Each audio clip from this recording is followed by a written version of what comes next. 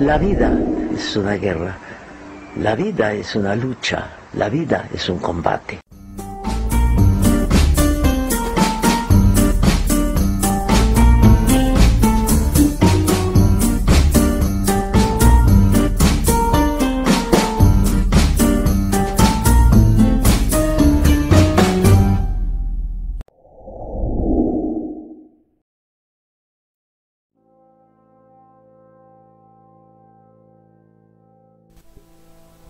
Mientras atendía mi cuadra de caballos en Francia, viajaba constantemente a México.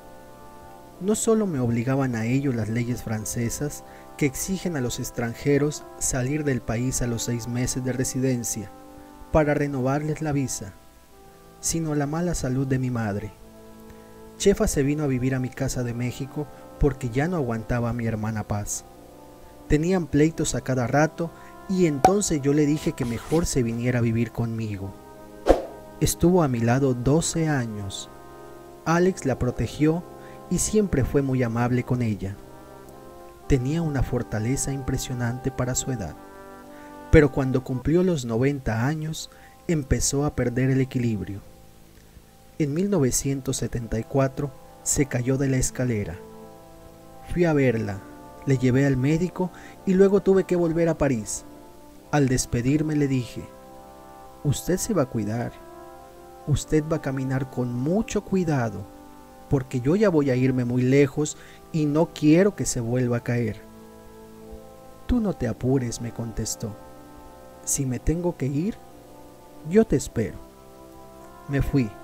Regresé a los dos o tres meses con Alex y el día que llegamos con Quique me dijo, quiero cenar con ustedes ¿Me permiten cenar con todos? Claro que sí, mamá, seguro. Cenó con todos. Estuvo muy contenta. Al despedirse, me dio su bendición. Pero en vez de pasarme la mano por la frente, me clavó la uña. Mamá, pero eso me hace daño, le dije.